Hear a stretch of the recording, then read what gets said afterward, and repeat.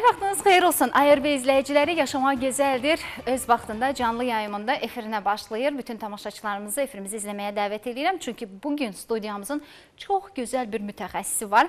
Adətən e, həmin doktorumuz studiyamızda olanda mən ağız dolusu danışıram. Çünki valideynlərimizin həqiqətən də e, yaxşı mütəxəssis axtarışına çıxdıqları an tapacaqları həkimlərdən, cərrahlardandır və Azərbaycanda ilklərə imza atan cərrahımızdır ki, biz onun uğurlarını, yeniliklərini dəfələrlə tamaşaçılarımıza təqdim eləmişik və o inci detallardan danışmışıq. Toğrul Ömərov studiyamızın bugün qonağıdır, uşaq cərrahı, hörmətli mütəxəssisimiz. Təqdim edirəm sizə, müzakirəmizə başlayaq.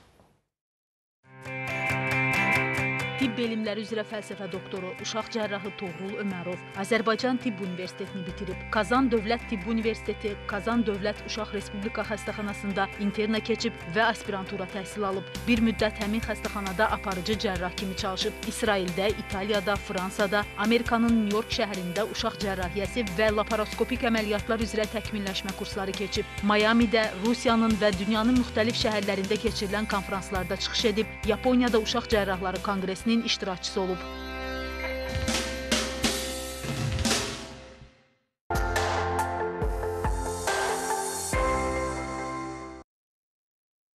Doktor buyurun studiyamıza.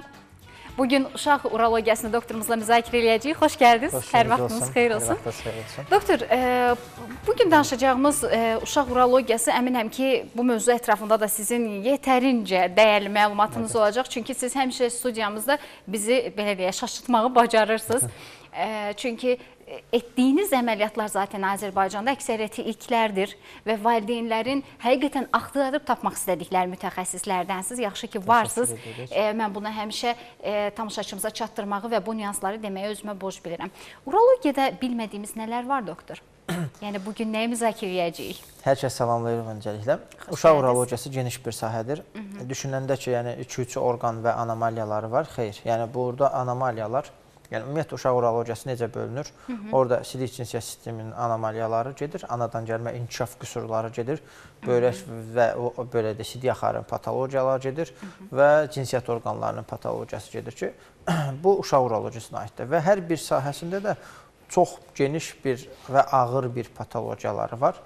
Ən çox yayılanlar əlbəttə daha asan, daha yüngül bir formalardır. Amma düşünəndə ki, yəni hansısa bir cərrah əməliyyatı bu asan bir əməliyyatdır düşünməsinlər ki, tək asandır. Yəni onun daha ağır bir variantları da ola bilər ki, yəni düşündüyündən daha bir e, qəliz bir əməliyyata uğraya bilər.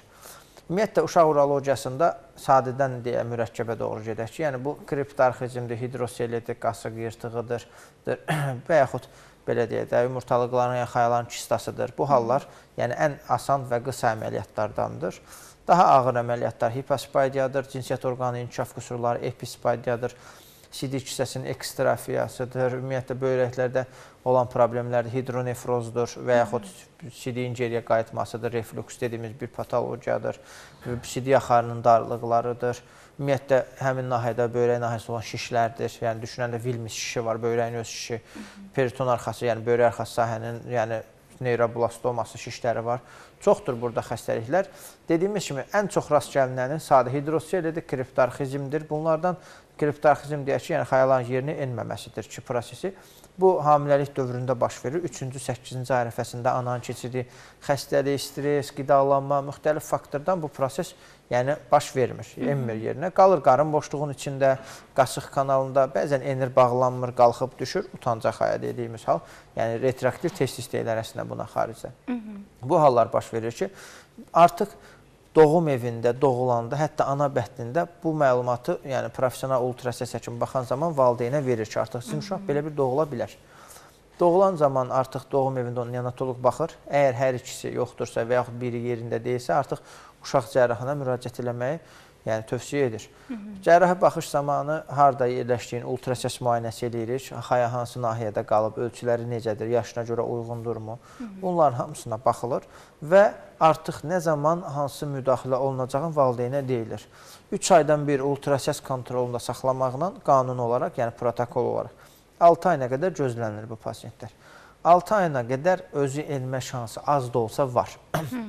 6 ayından 1 yaşına qədər artıq %100 əməliyyat olunmalıdır və 1 yaşın keçəndə artıq bu gecikmə sayılır.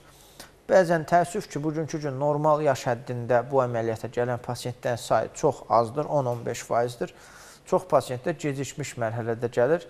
Gecikməyin səbəbi nədir? Öncəliklə valideynlər qorxurlar ki, ay narkoza girdi uşaq, ay bu narkozdan. Hı -hı. Valideynlər bugünkü gün dövrümüzün narkozundan qorxmasınlar.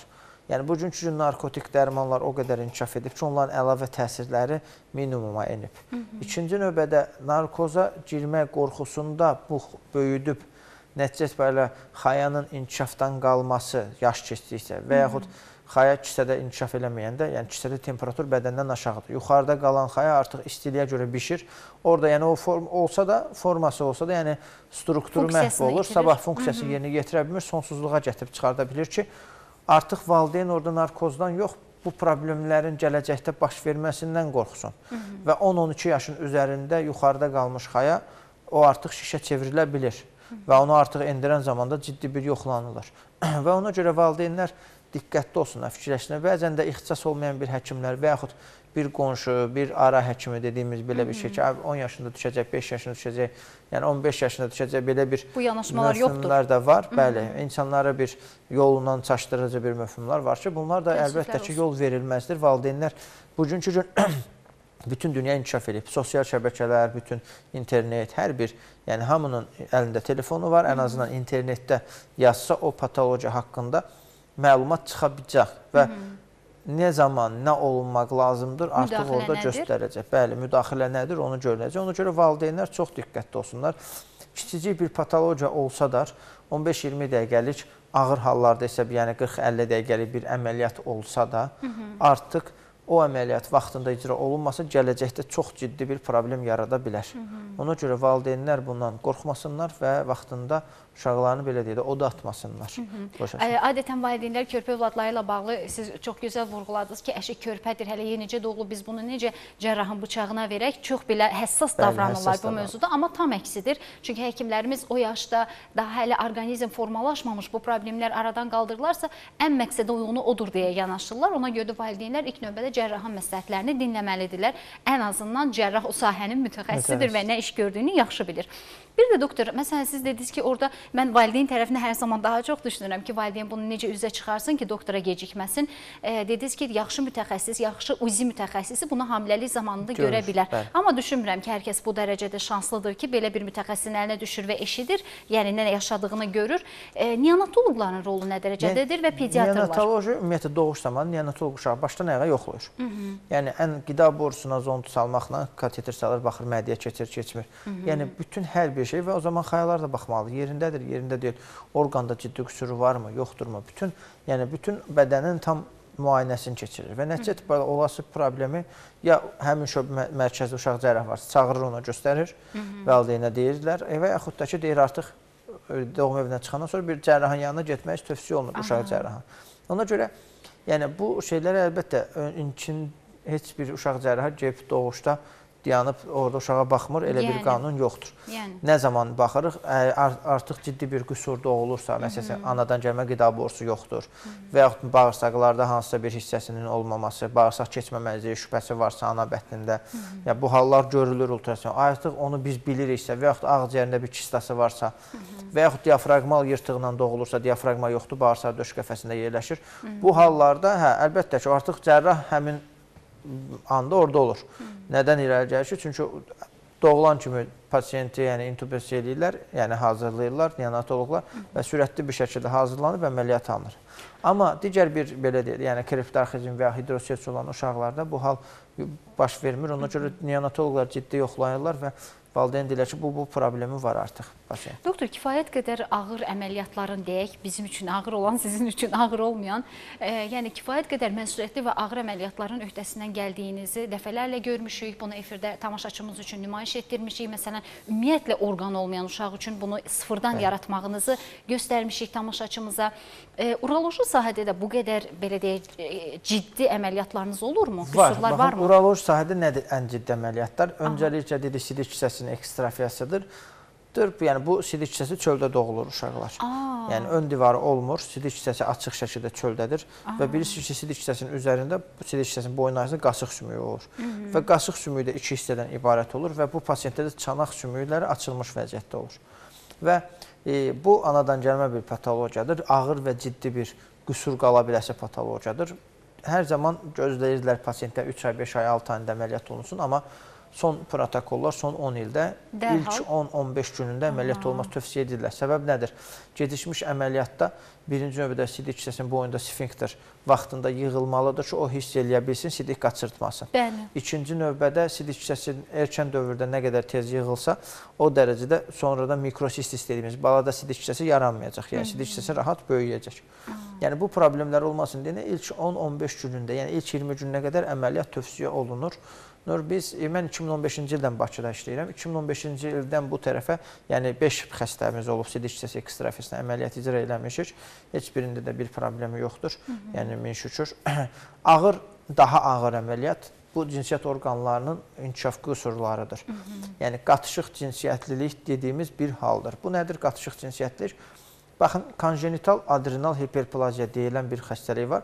Bu böyrək üstü vəzi ana bətnində hormonal funksiyası pozulur, disfunksiya olur. Və nəticə etibarilə ana bətnə kortizol hormonu çatışmır, aldosteron, testosteron qalxır. Fikirləşin ki, ana bətnindəki uşaq genetik olaraq qızdır. Daxildə uşaqlıq, yumurtalıq hər bir orqanı formalaşıb. Amma imenli bu pozğunluq baş verdiyinə görə xarici orqanların inkişaf dövründə başlayır bu pozğunluq və xarici orqanı formalaşır kişi kimi penis xaya kisəsi, amma xayalar yoxdur, boşdur. Hı -hı. E, və səhvən diaqnoz qoyulur ki, bu oğlandır. Hı -hı. Hə baxırlar penisə, deyirlər sadəcə hipospadiya oxşayır, yəni peyğəmbər sünnət dediyi misal üçün, hə sidik kanalı biraz aşağıdadır. Hətta səhvən əməliyyat olunanlar da var. Hı -hı. Ümumiyyətlə bu holda yəni peniskrotal forma hipospadiya və ya xayalıq forma, yəni hər xayaların altında və yaxud sidik kanalı penisin kökündə olur. Bu formada mütləq genetik analiz verilməlidir. Hı -hı. İstər hipospadiya olsun, yəni istər qaçıq cinsiyyətli olsun. Genetik Hı -hı. analiz verilir, dəqiqləşdirir ki, hə bu oğlandır ya qızdır, genetik çıxır. Yəni bu formalarda qatışıq cinsiyyətlərdir. Doktor, öncəsindən uzi görürmü? Uzi ana bətnində görür. Deyir, hə burada xayası yoxdur, yəni bu şeyləri deyə bilir. Yəni deyim professional logistdən asılıdır. Və əlbəttə dediyimiz kimi konjenital adrenal hiperplaziyadırsa, böyrək üstü vəzin hormonal pozğunluğudursa, doğulub qız, təs təsadüfi pasiyentlər Yəni 17 əməliyyat icra etmişəm 2015-dən bu tərəfə. Təsadüfi pasiyentlər, yəni 3 pasiyent ana bətnində bunu biliblər doğulan kimi genetik analizi biliblər və qız kimi böyüdüblər bunu. Aha. Amma digər pasiyentlər 14 pasiyent, yəni bunu oğlan kimi biliblər. Hətta biri 1 yaşında aşkarlanıb, biri 3 yaşında aşkarlanıb. Aha. Bir neçəsinin təsadüfi gəlmişdi hipospadiya əməliyyat elətdirməyə. Biz genetik analiz verdik, başa saldıq, budur, budur, budur, getdilər. Hı -hı. Yəni təzədən dəyişib budur. Burada artıq əməliyyat fərqli bir olur. Cərraha əməliyyata gələnə qədər öncəliklə nədir? Biz o əməliyyatda, yəni elə pasiyent gəldi, hə buna diaqnoz qoyduq, əməliyyat edə bilmirik. Hı -hı. Səbəb nədən irəli gəlir? Öncəliklə bu gedib psixoloji bir testi keçməlidir. Bəli. Uşaq kiçikdirsə valideynlər keçirlər. Böyükdürsə uşağın özü keçir. İkinci növbədə gedib endokrinoloji, burada hormonal çatışmamazlıq var. Hı -hı. Bu hormon çatışmamazlığın artıq həmin yəni endokrinoloq, uşaq endokrinoloq araşdırır. Hı -hı. Hansı hormon azdır, onun steroidlərini təyin edir. Çünki burada su itirən forma var, doz itirən forma var. Yəni Hı -hı. girər narkoza, stres keçirdər, narkoz stresindən suyun və ya duzun itirər, ciddi bir problem yaranar. Hı -hı. Ona görə öncədən bəzi dərmanları, endokrinoloji dərmanları endokrinoloq tərəfindən qəbul olunur. Hı -hı. Sonra hazır olanda və psixolojinin rəyi keçir. Hı -hı. Hər bir şey hazır olandan sonra gəlir yəni əməliyyat üçün. Bəli, cərrahın yanına. Əgər adı qız qoyulubsa, onda bez problem əməliyyat olunur rahat. Əgər bəzi çoxu oğlan adında olur deyənə artıq cərrah əməliyyat olunub dəyişilir Hı -hı. və sonra artıq göndəriş, yəni bütün sənədlərlə adını dəyişdirirlər. Yəni Hı -hı. Doğru. Ümumiyyətlə doktor belə çıxır ki, yəni öncəsindən uşağın cinsiyyətinə bir şübhə yaranıbsa, ya uzi yoxlayandan, ya valideyn belə deyək, doğulandan sonra yəni bəlli olmayan bir cinsiyyətli uşaq yəni, doğulubsa, genetik analiz Hı -hı. verilməlidir mütləq şəkildə. Hı -hı. Səbəb nədir ki, gen yəni olaraq gen kimdir? olaraq bu kimdir? Bəli, xromosomda bu kimdir? Hı -hı. Yəni bunu %100 bilinməlidir. Bu çox bir ağır, ciddi hallardır. Əlbəttə Bəli. biz valideynlər də başa düşürük, dərk edirik, çünki onlar üçün də bu ağır haldır. Təbii ki. Bu stres keçirdən haldır. Hı -hı. Bizdə biraz mentalitet də rol oynayır ki, düşünür qonşu bizə nə deyəcək, qohum nə deyəcək, amma heç kim yəni sizin həyatınızı yaşamır, hər öz həyatını yaşayır. Yəni və övlad Ona da görə, sizindir. Bəli. Burada yəni kimin qonşunun və yaxud kiminsə dediyinə görə gözləyib onun həyatını məhv eləməkdənsə vaxtında düzgün qərar qəbul edib əməliyyat edib bunu düzəltmək lazımdır. Ümumiyyətlə doktor sizin danışdığınız bu mövzu o qədər həssas bir mövzudur ki, bu e, zamanla yaşanıb, el arasında olub belə problemlər. Yəni təəssüflər olsun ki, yanlış yönə yönəld- yönəldilib. Bu dəfələrlə nümunələrini biz doktorlarımızdan eşitmişik. E, sadəcə burada valideynin bir qədər doğru və düzgün anlaması və savadlı olması, öncədən hazırlıqlı olması bu Bilirsiniz, mövzu hər çox vacibdir.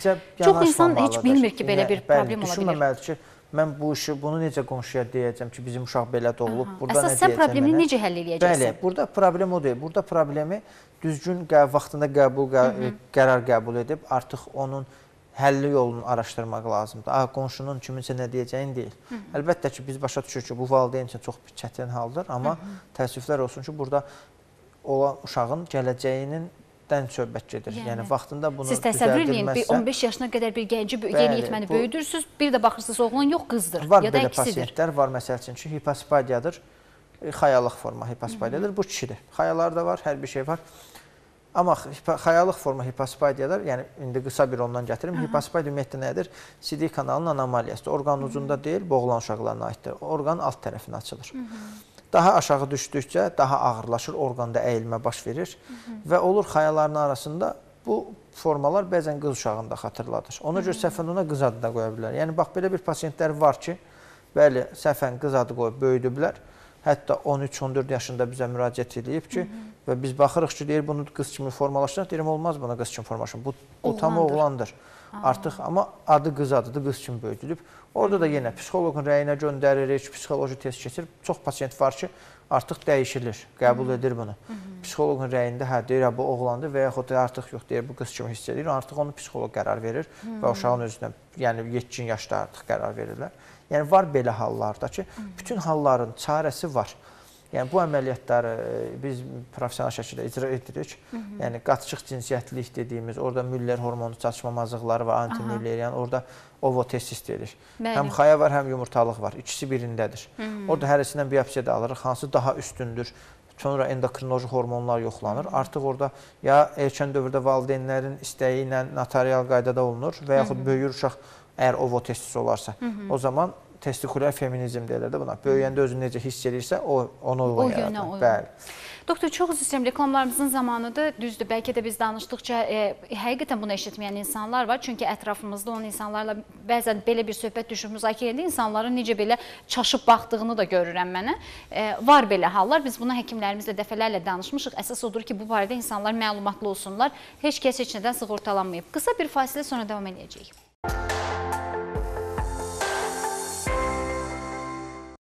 Biz müzakirəmizə davam edirik. E, Toğrul Ömərov studiyamızın qonağı olanda həmişə çox ağır patologiyalardan, valideynlərin gözləmədikləri qarşılarına çıxan vəziyyətlərdən danışırıq. Bu gün də uşaq urologiyası bizim söhbətimizin mövzusudur. Bu e, uşaq urologiyası deyiləndə əslində bu çox da bəsit səslənməsinə baxmayın, mövzu çox genişdir və burada çox xəstəliklər var, çox problemlər var. Hətta məsələn el arasında peyğəmbər sünnəti kimi tanınan məqam var ki, bunu insanlar bir müqəddəsliyə və s. bağlayıb tibbi problem olduğunu bilmirlər. Bilmirlər, Əslində bu sözü keçən mövzu e, tibbi problemdir və mütləq uşaq cərrahına müraciət etmək lazımdır və biz bu barədə dəfələrlə Toğrul doktorla danışmışıq ki, niyə onun həkimə müraciəti vacibdir, niyə uşaq e, çox belə deyək yaşada olmamış bu problemlər həll olunmalıdır. Bunu incəlikləri ilə həmişə doktorumuz danışıb. Reklamlardan öncə o ikili e, cinsiyyətlərdə qaldıq ki, valideyn bəzən burada həqiqətən özü də şok keçirir. Çünki övladının e, belə bir problem yaşayacağını heç kəs istəməz.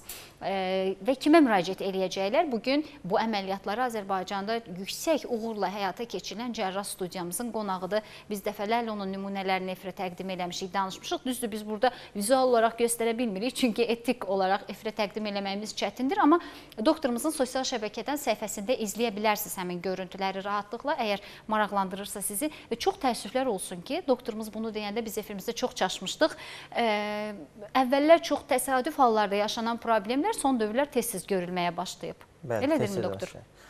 Bilirsiniz, əvvəllər bəlkə də əvvəllərdə var idi bu.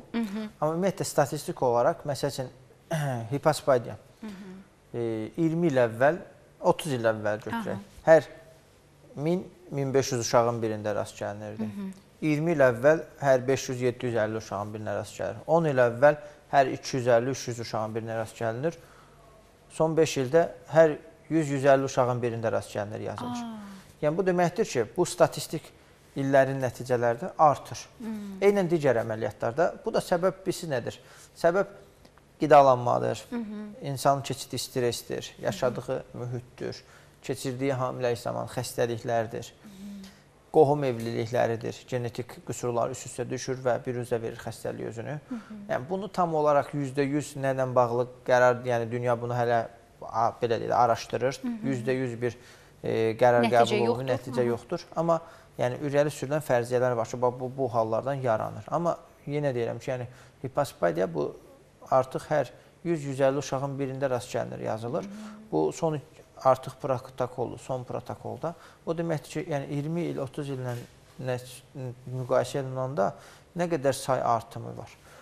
Düzdür, əvvəllər bəzi xəstəlikləri o qədər də gizlədirdilər bu hallardan, bəlkə də ondan da irəli gəlir ki, əvvəllər indi daha insanlar müasirləşib qorxmurlar, gizlətmirlər. Əvvəllər bəlkə daha çox gizlədirdilər. Hı -hı. Bu halın e, bir belə deyək də ətrafda bilməsindən çəkinirdilər. Bəli, gizlənməsi. Bu da ola bilər, amma ki nə qədər olmasa, yəni mühit inkişaf elədikcə, elm, texnologiya inkişaf elədikcə ətraf mühitin çirklənməsi və digər hallar bu xəstəliklərin yaranmasına gətirib çox çıxardır. Hı -hı. Zəmin yaradır. Baxın, hidronefroz deyirik, böyrək patologiyasıdır. Çoxdur bu halda müraciət edən pasiyentlər. Hı. Hətta təəssüf olsun ki, mən bunu təəssüflə vuruyam ki, bir neçə dəfə uğursuz əməliyyat olunmuş pasiyentlər çoxdur hidronefrozdan.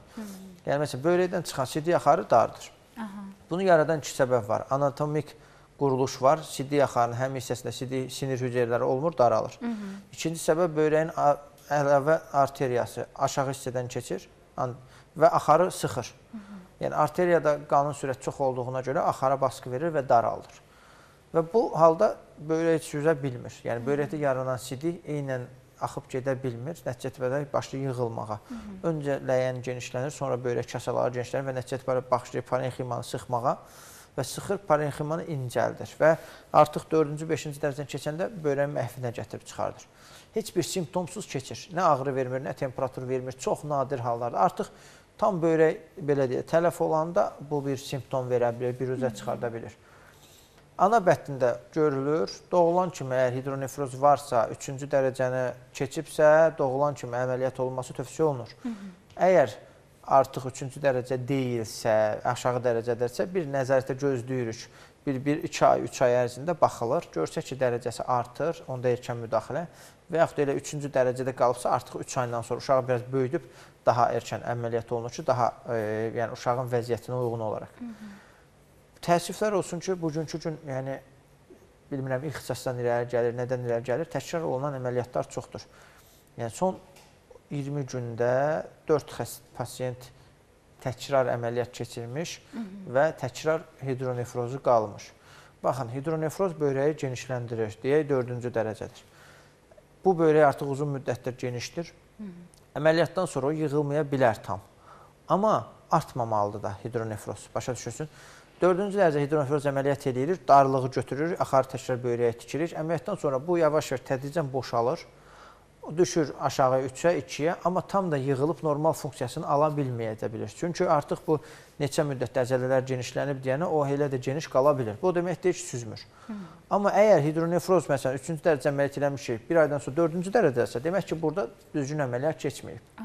Başa düşürsünüz, təkrar artıb dərəcəsi. Yəni bu artıq e, bu hal çoxdur. Məsələn, dediyim kimi son 20 gündə 4 pasiyent tək əməliyyat edilmişik ki, bunlar təkrarı əməliyyat keçirmişlərdir. Bir il əvvəl keçirdiblər, yəni il yarım əvvəl keçirdiblər, 8 ay öncə keçirdiblər. Çox Bu hallar vardı və təkrar rengen kontrast müayinədə və təkrar sintiqrafik müayinələrdə bunu təsdiqləyir ki, daralma daha çoxdur. Həmin hmm. yerdə var yenədən və sintiqrafik müayinə nədir? Böyrək neçə faiz işləyir? Əməliyyatdan öncə bir müayinə edirik, böyrək nə qədər işləyir faizi Hı -hı. və əməliyyatdan bir ay, iki ay keçəndən sonra da yoxlayırıq ki, hə, bu düşürmü, qalxırmı? Yəni ən azından eyni faizdə qalmalı ki, itirməsin böyrəyin, yəni nə qədər süzmə faizi. Bu baxımdan valideynlərə mən bir səslənmək istəyirəm ki, yəni biraz daha diqqətli olub ixtisas Yəni uşaq cərrahıdırsa, yəni uşaqdırsa uşaq cərrahına getməlidir. -hı. E, digər bir ixtisas həkimləri onu elə bilər, düşünə bilər, amma orada hansısa bir nüansları, hansısa bir gözdən qaçırda bilərlər, problem yarada bilərlər. Və yaxud ay öz-özünə düzələcək deyib boş verib keçirtməsinlər. 8 yaşında pasiyent gəlib artıq böyrək toxuması yoxdur. Böyrək öz funksiyasını itirib, tam dayanıb və yəni biz artıq orada MRT, KT müayinəsində keçdik. Tam non-funksional. Sintiqrafiyada da həmin böyrək funksiyası sıfırdır və böyrək çıxmalıdır. Və hidronefroz 5-ci dərəcədə artıq yəni parenxim izlənmir. Yəni bu halla qarşılaşmasınlar. Səbəb nədir? Valideynə əşi böyüdükcə keçib gedəcək deyiblər, boş veriblər, əməliyyat eləməyiblər və nəticə gətirib bir böyrəyin itirilməsinə çıxarıb ki, böyrək ciddi bir orqandır, ciddi həyat fəaliyyətinə malik bir orqandır. İnsanın bütün bədənində belə deyək, ən vacib orqanlardan biridir.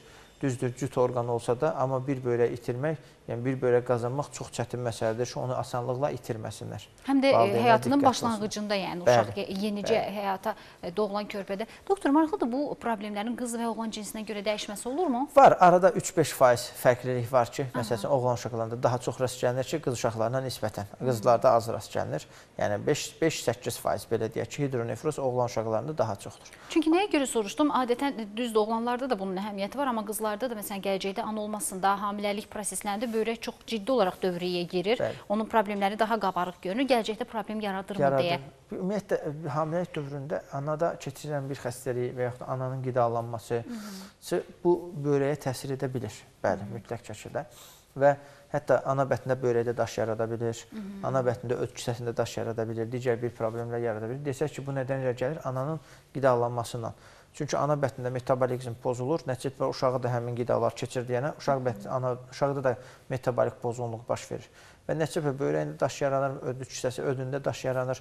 O qədər pasiyent var ki, ödündə daş var, uşaqdır. Ödündə daş olan, yəni və ya böyrəkdə daş olan, böyrəkdə daha asan keçir ki, ödündə daş olan əgər daş kiçik ölçüdürsə, öd axarına düşüb öd tuta bilər və daha böyük bir əməliyyata gətirib fəsad yarada bilər. Ona görə biraz yəni valideynlər fikirləşsinlər, hər şeyi qidalanmasınlar. Yəni düşünməsinlər. Bəzən süd verən analar gəlir, uşaq qəbizdir, uşaq qəbizliyi var, heç düzəlmir, hansı müalicə edirik? Deyirik nə qidalandırsın? Ana südü verirəm. Deyir, bəs siz nə yeyirsiniz? Elə nə var yeyirəm. Ha, deyirəm, bəs siz ana südü verirsinizsə, siz yəni uşaq əlavə qida yemir. Siz özünüz də düzgün qida almalısınız ki, sizin yediyiniz anaya, uşağa da keçir. Və nəticə yediyinizin tərkibinə uyğun onda da qəbizlik baş verəcək. Ona görə bunlara biraz daha fikir verməlidirlər valideynlər. Doktor, mənim dediyim əslində başqa bir prismadan idi. Məsələn, siz körpəlikdə uşağı böyrəyinə görə, hər hansı bir anomaliyasına görə əməliyyat elədiniz. Aha. Böyüyəcək və gələcəkdə onların ata, ana olma prosesləri Yox, var. Yəni o bu problemlərdə yaşamır. Yəni böyrəkdə Yaşamırlar. olan belə deyək də patologiyalar, sonsuzluq və digər bir problem yaşatmır. Aynen. Vaxtında düzgün müdaxilə olunub, aradan qaldırılıbsa bu bitdi. Artıq yəni böyrək belə deyək də xilas oldu deməkdir. Gələcəkdə də heç bir narahatçılıq, bir problem yaratmayacaq. Doktor, burada ə, cinsiyyətin ə, fərqli olması, hipospadiyalar ya da ki, böyrəyin hidrosefaliyası, Hidronefrozu. üzr istəyirəm. Ə, yəni bunlar olarsa, ə, bunlardan başqa belə deyək, hansı anomaliyalara valideynlər rast gələ Baxın, bilər ya da çoxdur. kimlər? Sidik yaxanın darlıqları var, sidik kisəsinə girən yerdə darlıq var. Uretra böyrəkdə deyil vezikal də, darlıq, bəli, daha aşağıda var. Sidiyin geriyə qayıdması var. Reflux dediyimiz reflux. xəstəliyi var. Ondan sonra orqan, cinsiyyət orqanlarının anomaliyası, batıq penis deyirik. Yəni cinsiyyət orqanı içəridədir. Və bəzən də çaşıb sünnət edirlər bu pasiyentləri. Də olan dərini də kəsirlər. Nəticə etibarilə heç dəri qalmır. Valideyn 10 yaşında müraciət edir. Doktor 10 ildir bu uşağın elə sünnəti o boyda qalıb böyümür və içəridədir, çölə çıxmır. Elə deyirlər böyüsün çıxacaq. 14 yaşında var. Əlbəttə ki, bu bird penis dediyimiz bir diaqnozdur, hansı ki, batıq penis deyək. Gizli cinsiyyət orqanı ki, bu anadan gəlmə penis daxildə olur. Onu sünnət deyil, cərrahi əməliyyat edib çölə çıxartmaq lazımdır ki, sonradan dəri defekti də qalmasın. Var hidroseli, yəni xayaya mayenin yığılmasıdır ki, bu adətən bu proses 2 yaşa qədər özü bitib gedir. 2 yaşdan sonra qalan halda artıq onu cərrahi müdaxilə ilə aradan qaldırırıq. Var, yəni orqanların digər inkişaf qüsurları var ki, qız uşaqlarında deyək cinsiyyət orqanlarında tamam fərqli ki, cinsiyyət yolunun olmaması, atreziyası var və yaxud cinsiyyət yolunun tam qapalı olması var, hissəvi var. Bu hallar baş verir. Oğlan uşaqlarında dediyim kimi qatışıq cinsiyyətli dəhşət çox alıb ki, baş verib gedir. Və e, digər belə deyək ki, anomaliyalar hansı ki, anomaliya demək olmaz, yəni uroloji nahiyədə şişlərdir ki, bu sidik hissəsinin yanında ola bilər, böyrək arxasında ola bilər və böyrəyin özünün şişləri var. şişlər. Bəli, Wilms dediyimiz şiş var ki, bu artıq non-funksional böyrəkdir, götürmək lazımdır. Polikistoz böyrəklər var ki, yəni bəzən düşünürlər ki, "Ay, uşaq polikistik böyrəklə doğulacaq, bu uşaq necə olacaq? 100 yaşında yaşayan insanlar var, polikistik böyrəklə yaşayır. Yəni hər börəkdə də çoxlu-çoxlu kistalardan ibarətdir börək, amma o öz funksiyasını yerinə yetirir. Əgər az funksiya yerinə yetirən varsa, əlbəttə ki, o hansı bir müddət yaşayacaq, sonra artıq börək köçürülmə icra olunacaq. Amma yəni polikistik börəkdə hər zaman da e, belə deyək də ağır bir fəsadlarla üzləşmir. Onunla yaşayan 50, 60, 70, 80 yaşlı insanlar da var ki, bir problem yaratmır və polikistik börəkdə heç bir əməliyyat etmək tövsiyə olunmur ki, yəni o kistaları götürmək və yaxud hansısa bir Müdaxilə. etmək. Çünki börək özü bütöv kistalardan ibarətdir. Var multikistoz displaziya. Bu nədir? Börək ana bətnində, yəni artıq öz parenximasını itirir. Sadəcə sidik axın olan deyənə maye yığılır içində və börək ancaq ətraf kapsuladan bir neçə kistadan ibarət olur və axar olur. Bu multikistoz displaziya dediyimiz, yəni multikistik börəkdə bir neçə kistası var. Yəni börək deyil. Bu əlbəttə ki, doğulan kimi artıq bir ay ərzində o börəyi çıxartmaq lazımdır. Çünki o heç bir funksiya yerinə yetirmir. Əksinə o qalıb deşilə bilər və içindəki silik qarın boşluğuna axa bilər, börək arxasına sahəyə axa bilər və başqa bir fəsad yarada bilər. Ona görə erkən dövrdə bir ay ərzində o multikistoz displaziya dediyimiz hal götürülür və bir dəfə pasiyentin belə deyək də canı bu problemdən qurtarılır.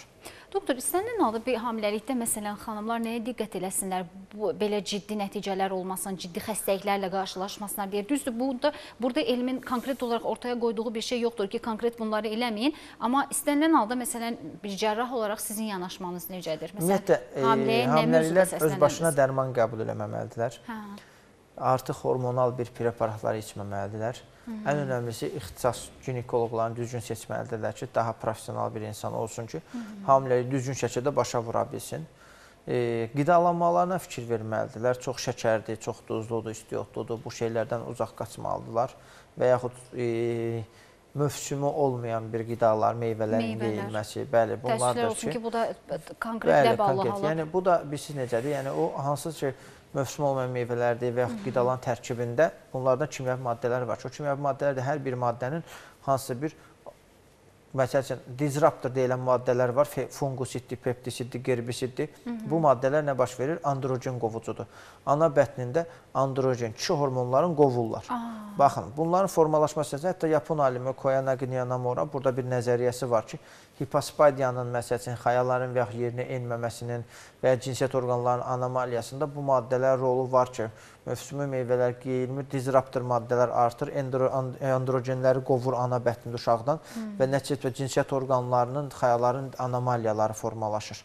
Yəni var, bunlar e, artıq Yəni belə deyək, bunların üzərində işlər gedir. Yaxın müddətlərdə hansısa bir müddətdə ola bilsin 5 il, 10 ilə və yaxud tam olaraq elmi sübutlarla irəli sürüləcək. Amma hazırda bu haqqda sürülmüş çoxlu nəzəriyyələr var ki, yəni bunlar da e, düşünəndə əlbəttə ki, çoxu özünü doğruldur. Və bu hallar belə deyək də, o şey çoxalır və valideynlər də ona görə fikir verməlidir, nə yeyirlər, necə davranırlar. Hətta yuxunun pozulması belə hansısa bir inkişaf qüsuruna gətirib çıxarda bilir. telefonlar səhərdən axşama kimi adətən mütəxəssislərimiz bəli deyəndə qadınlarımız mən məsələn dəfələrlə hamilələrdən görmüşəm ki, çox aqressiv, yəni qarşılayırlar insanların onlara deyilən bu sözləri ki, məsələn e, evdə kimsə deyən ki, yeməyinə fikir ver ya da telefonla çox oynama, əşinə aidiyyəti var filan, yəni görmüşəm bu aqressiv münasibətlər, təəssüflər olsun, amma doktorlarımız bu məqamların heç birini danmırlar. Yəni hər birinin rolu ola bilər. Odur ki, sağlam övlad dünyaya gətirmək istəyirsinizsə, bu unudulmasın. Bir də doktor, son dövrlər androloqlarımızdan tez-tez eşitdiyim bir cümləni uşaq cərrahının özündən soruşmaq istəyirəm. E, körpəlikdən yaşanan varikosel problemi olurmu və nə dərəcədə vacibdir? Baxın, ə- adətən deyirlər böyük insanların xəstəliyidir, bu kişilərin xəstəliyidir. Bəli. Amma təəssüf olsun bugünkü gün varikosel uşaqlarda da çoxdur. 8 aylıq uşaqda var, 1 yaşında uşaqda var, 3 yaşında, 5 yaşında, Özünü 10 necə yaşında, 12 göstərir yaşında. doktor? Çox maraqlıdır. Necə göstərir? Xayada damarların əllənməsi, yəni valideyn görür ki, xaya Gözlə sallanır. görülən. Bəli, Aha. gözlə görülən damarlar artır.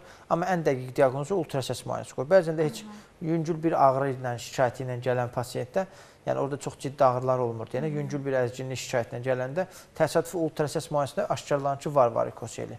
Əgər ikinci dərəcənin üzərinə çıxmayıbsa, 3-ə yaxınlaşmayıbsa, gözləmə periyodu seçilir. Əgər artıq 3-cü dərəcə keçibsə, uşaqda bir mənalı olaraq əməliyyat göstərişdir. Səbəb nədir ki, o e, qan geriyə axır. Yəni bildiyimiz kimi arterial qan gəlir xayalara qidanı və oksigeni verir, venoz qan halında qayıdır. Bu venoz qan qayıdan damarın problemidir ki, klapan pozulur və qan geriyə axır, yığılır xayada. Birinci növbədə xayada istilik yaradır, inkişafdan saxlayır. İkinci növbədə xayanın qidalanmasını pozur.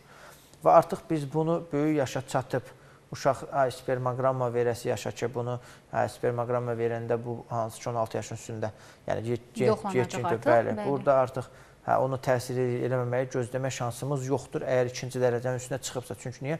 O yaşa qədər xaya tam inkişafdan qala bilər. Ona görə cərrahi müdaxilə mütləqdir.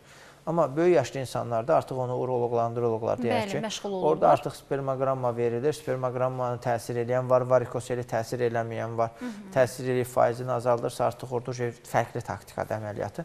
Amma uşaqda görülürsə ikinci dərəcənin üzərindədirsə bir mənalı əməliyyata göstərişdir. Orada da mikrocərrahi subengual dediyimiz kiçicik qasıq kanalından balaca bir 1 sm kəsikdən açılır. Həmin damarlar bağlanır. Qanın geriyə axmasının qarşısı alınır. Və bununla da pasiyentin belə deyək, canı qutar qurtarır bu patologiyada. Doktor, bir də böyrəklərin e, çox və az olması. E, bəzən bu da valideynləri e, çaşdırır. Ümumiyyətlə bütün orqanlarda var. E, duplikasiya dediyimiz ikiləşməsi var. Bəli. Bağırsaqlarında var ikiləşməsi, hər bir orqanın, böyrəklərin də var, hətta xayaların da var ki, bunların 3 poliarxizm deyirik ki, yəni çoxlu xaya var. 4 xayası ola bilər, 3 xayası ola bilər. Bu hallar var. Böyrəklərdə də ola bilər ki, yəni böyrək ikiləşməsi dediyimiz bu nədir? Böyrək sadəcə ləyəni iki hissəyə bölünüb, iki axarı var və ona uyğun da öz ləyənləri var ki, belə bir xəstələr çoxdur. Həmin xəstələrdə də çox zaman problem olur ki, axarlar gəlib bir-birinə birləşən yerdə daralır və sidiyə axıda bilmir. Aa. Hə, bu problemlər olur və bə bəli, 11 Aha, pasiyent var bu üçün. formadan əməliyyat etdiyimiz ki, axarlar birləşən yerdə daralıb, həmin axarın darlığını aradan qaldırmışıq, yəni birləşdirmişik. Belə hallar çoxdur. Ümumiyyətlə bütün orqanların dediyimiz kimi ikiləşməsi var. Hətta düz bağırsağın belə ikiləşməsi mən 2 pasiyent var ki, əməliyyat eləmişəm. Düz bağırsaq ikiləşməsi. Orada bir kistik bir struktur görür ana bətnində. Doğulandan sonra biz baxırıq və bəlli olur ki, bağırsağın ikiləşməsidir. Sadəcə o heç bir yerlə əlaqəsi yoxdur. Kista şəklində oradadır. Düz bağırsağa birləşir Xaric və biz onu? bəli, bəli onu çıxardırıq. Çünki onun içində e, bağırsaq mayesi olur və o heç ara çıxa bilmir deyənə maye artır, artır, artır, nəticə etibarilə iltihablaşa bilir və ən önəmlisi deşilə bilir. Yəni deşilib Doktor, ətrafa e, yayılır. böyrəklərdə işləyib işləməmə məsələləri, məsələn, işləməyən böyrəkdirsə qalırmı yoxsa onu da Yox, götürürsüz? işləməyən böyrək 5%. Sintiqrafiya dediyimiz müayinə var. Aha. Bu izotoplar vurulur. Hər bir böyrək Ha, burada faiz? yenə işləməyə Bəli. baxırsınız. Aha. 5%-ə qədər işləyən böyrəyə toxunmaq tövsiyə olunmur Olmaz. uşaq cərrahiyyəsində. 5%-in altında olan böyrək artıq bu yararsız sayılır və digər böyrəyə də naqruzka sala bilir deyənə həmin böyrək çıxması tövsiyə olunur. Hə, deməli orqanın işləyib işləməməsinə görə qərar verirsiniz. Qərar Qalacaqmı, götürəcəksiniz? Bəli, bəli. Neçə Çünki faiz işləməsinə görə. Çünki böyük yaşlarda bəzən insanlar heç özləri də xəbər olmadan bir vaxt ayılır ki, sən demə 4 böyrək varmış, 3 böyrək varmış. Olur, təsadüfi hallar olur, amma hə, o məsəl üçün 3 böyrəyi varsa belə deyək, yəni hətta ikiləşmiş böyrək deyirik ki, olur. Yəni Aha. belə bir hallar olur. 3 böyrək olursa böyrəyin olur üçü də funksional olur. Olur ki, hansısa biri sadəcə var, non-funksionaldır. Hətta onun axarı da olmaya bilər ki, Hmm. hidronefrotik transformasiyası o halda həmin böyrək də götürülür. Çünki sidik axarı olmayan böyrək heç bir rol oynaya bilməz. Doktor, çox maraqlıdır. Bəs bunlarda olurmu ki, məsələn, böyrəkdə də ikiləşmə olsun, bağırsaqda da olsun, yoxsa mütləq olanda bir orqanda görülür belə vəziyyət? Yanaşı gedə bilənlər də var, çox nadir hallardadır. Amma ə, digər ümumiyyətlə bu ikiləşmə çox nadir hal sayılır. Bəzi halda olur bir neçə orqanda birdən ikiləşmə olur, amma bə çox hallarda adətən tək-tək orqanlarda olur ikiləşmə. Bəli. Hətta bunun genetik olaraq e, ötürüldüyü nəsillər də var, çox ümumiyyətlə bu maraqlıdır. e, çox zaman genetik ötürülür və çox ciddi kimyəvi e, preparatlar, kimyəvi terapiya alınmış və yaxud hansısa bir radiasiya olan ərazidə yaşayan insanlarda biruzə çıxır bu ki, yəni bunun artıq elmi sübutları var, araşdırılıb. Deyir ki, yəni bu ikiləşmə və ya digər bir in, ağır inkişaf qüsurları buna bağlıdır, yaranır. Ona görə yəni bizdə təəssüf olsun ki, qohum evliliyi bu Bəli, e, çoxdur təəssüflər deyənə, bəli, bu e, nən belə deyək də üst-üstə düşür dominant genlər və nəticə belə nəsildə olan patologiyanı daha ağır şəkildə üzə çıxardır. Aydındır. Baxmayaraq ki, buna müasir dövrdə yaşamamıza, 20-ci əsrdə yaşamamıza baxmayaraq hələ də buna haqq qazandıran insanlar var, Var. təəssüflər olsun. Amma həkimlərimiz həmişə e, burada əslində qohum evliliyin geninə uyğun olaraq həkimlər bu dərəcədə qohum evliliyinin əksinədir ki, yəni əgər nəsildə bir xəstəlik daşıyıcısı varsa, siz onun üzə çıxması üçün bir vüsət verirsiniz. Bəli, bəli. Bilirsiniz necədir? Genlər e, məsəl üçün eyni nəsildən olmayan qohum bir insanlar evləndiyi zaman fərqli bir genlər birləşir, daha sağlam bir insan dünyaya gələ bilər. Əlbəttə orada da problemlər olur. Düşünməyək ki, elə deyil. Yox, var. Və bütün qohum evliliklərində hə problem ola bilir? Yox. Sadəcə deyilir ki, qohum evliliklərində bunun şansı daha çoxdur. Yəni qohumda hansısa bir nəsildə xəstəlik varsa, eyni nəsildən insanlar birləşərsə, o zaman artıq dominant genlər üst-üstə düşərək bu xəstəlik üzə çıxa bilmə şansı çoxdur və Aydındır. var. Ona görə bunu söyür. Yəni deyilmir ki, bütün qohum evliliklərində hansısa bir patologiya var, xeyr. Əslində həmişə efirimizdən danışanda tamaşaçılarımıza səslənirəm ki, bilik bizim hansısa problemimizin qarşısını almaq üçün ən böyük silahımızdır. E, doktorumuzla e, bir neçə efir öncə doktorumuzla söhbət elədik və onun üstündən bir həftə keçməmiş yadımdadır siz demiş, demişdiniz ki, uşaqlarda e, apendisit adətən valideyni Bəli, aldada bilir. aldada Çünki yeri fərqli yerdə olur, Bəli, adətən ödün yanında. Onun üstündən bir həftə keçmiş eyni problemi özüm yaşasam necədir? Və e, siz təsəvvür edin, evdə elə bir təşvişə düşdüm siz onu mənə dediyinizə görə və onun sayəsində övladımı xilas elədim, inanın. Yəni heç bir əlamət Hər verməmişdi. zaman Apendisit əməliyyatı standart deyildi. yerində yerləşmir. Yəni kitab yazırkən bu hallarda çox yerləşir. Mən e, hər həftə 2-3 əməliyyat edirik apendisitdən, amma deyim ki, Anomaliyası. biz e, standart kitabın yazdığı yerləşməsin çox nadir hallarda rast gəlir. Çox zaman yerləşir. Periton arxası sahədə, kor bağırsağın arxasında, qaraciyərin altında öt kisəsinə yaxın yerləşir və elə hallarda o özünü gec biruzə verir. Məsələn, erkən dövrdə yox, artıq gecikmiş mərhələdə valideyn müraciət edir ki, bu da daha əməliyyatı çətinləşdirir. Bəli, artıq və- və- partlamış olur, bəli, içəridə e, qarın boşluğuna dağılır və iş çətinləşir. Peritonit və digər hallar baş verir. Yəni, doktor təşəkkür edirəm. Yaxşı ki varsınız. E, yaxşı ki nəinki tamaşaçımızda elə mən də sizə həmişə diqqətlə qulaq asıram. Həmişə e, məsləhətlərinizi hər yerdə xatırlayıram ki, bunları eləmək lazımdır və harda necə yanaşmaq lazımdır. Allah sizi var eləsin. Çox sağ olun. E, yaxşı ki sizin kimi cərrahlarımız var, həkimlərimiz var, valideynlər rahatlıqla müraciət eləyə bilər və bizim də rahat məsləhət bilə biləcəyimiz mütəxəssislərimiz var. Yaxşı ki Çox varsınız olun, doktor. edirik, Çox sağ olun. Biz ayrılan zaman yekunlaşır. Özünüzə yaxşı baxın, övladlarınıza daha yaxşı baxın. Sağ olun.